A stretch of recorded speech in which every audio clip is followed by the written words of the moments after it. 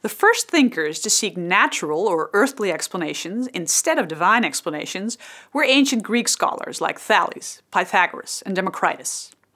But the first to really consider how to obtain knowledge were Plato and Aristotle more than 2300 years ago.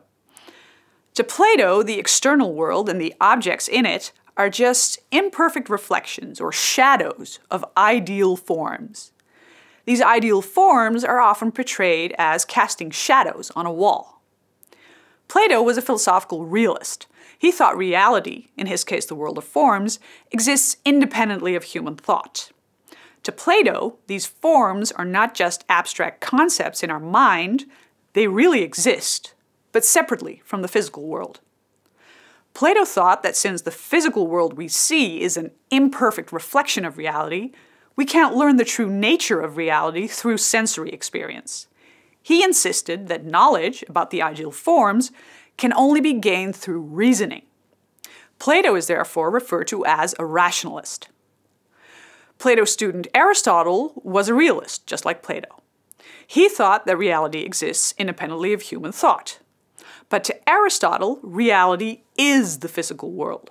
There is no separate plane of existence where abstract forms live. Aristotle also disagreed with Plato on how we can gain knowledge about the true nature of things. Aristotle was an empiricist.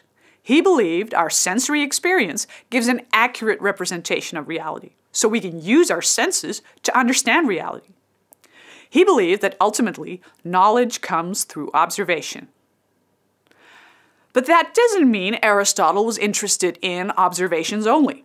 He still saw reasoning as the best way to understand and explain nature.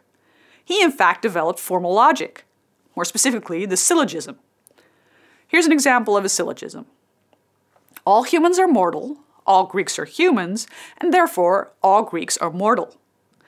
If the two premises are true, then the conclusion is necessarily true.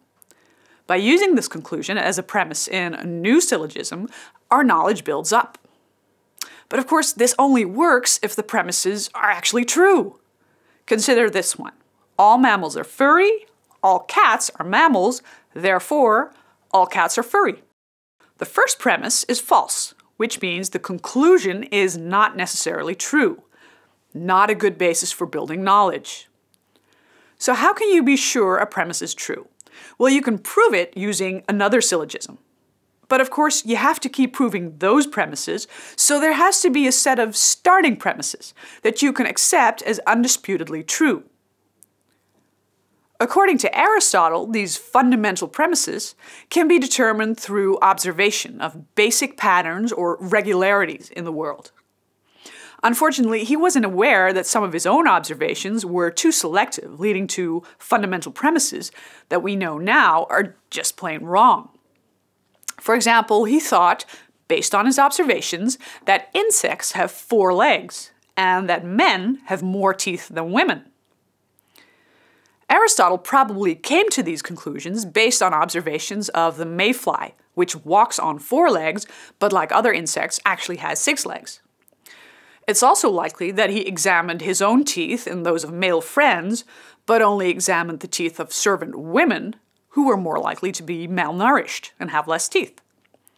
He didn't realize it, but his observations were inaccurate. Even so, Plato's and Aristotle's views remained dominant for almost 2,000 years. It took until the end of the 16th century for people to realize that Plato and Aristotle's views were flawed. How did the scientific method develop after Plato and Aristotle? Well, the ancient Greeks made many scientific advances. For example, Ptolemy described the movement of planets by placing the Earth at the static center of the universe, with the planets, including the Sun, in a circular orbit, each moving in their own little cycle along their orbital path. These cycles within cycles were necessary to explain the weird phenomenon of retrograde motion, where planets would sometimes move backwards. Ptolemy's model allowed for accurate predictions, but it's thought that people didn't really believe that it described the actual motion of the planets. It only saved the phenomena. After the demise of the Greek city-states during the rise and fall of the Roman Empire and the first centuries of the Middle Ages, very few scientific advances were made. Plato's and later Aristotle's philosophical ideas remained dominant until a new scientific revolution at the end of the 16th century, starting the Age of Enlightenment. But let's look at the developments that led up to that revolution. First, around the turn of the 10th century, Arab and Persian scholars such as Ibn al-Haytham, al-Biruni, and Ibn Sina started using systematic observation and experimentation, emphasizing unbiased observation and not just logical reasoning. Second, building on the work of their predecessors, the Englishmen Grosseteste and Roger Bacon advocated the use of both induction and deduction. Induction means using particular observations to generate general explanations. Deduction means predicting particular outcomes based on general explanations. A third important development was the invention of the printing press. This created the perfect conditions for a scientific revolution. More scholarly works became available to a wider audience. Among these works was De Revolutionibus Orbium Coelestium by Copernicus.